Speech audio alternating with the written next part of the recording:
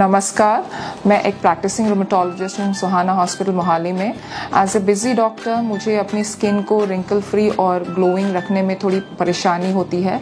लेकिन ये परेशानी भी एक प्रोडक्ट की वजह से जिसे मैं यूज़ करती हूँ, उसकी वजह से मेरी स्किन ग्लोई और एक्नी फ्री रहती है। इस प्रोडक्ट का नाम है डर्माबे की एक क्लाइंजर जिसमें सैलिसाइलिक एसिड और जिंक है।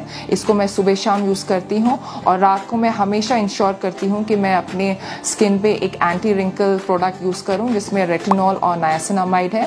उनकी रेटिनॉल और नायासिनामाइड कंटेनिंग सीरम भी बहुत ही अच्छी है और मैंने खुद अपने स्किन पे देखी है। Thank you